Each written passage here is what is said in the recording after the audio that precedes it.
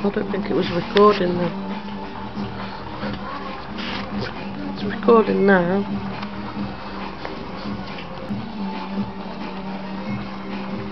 Shall back? Who's it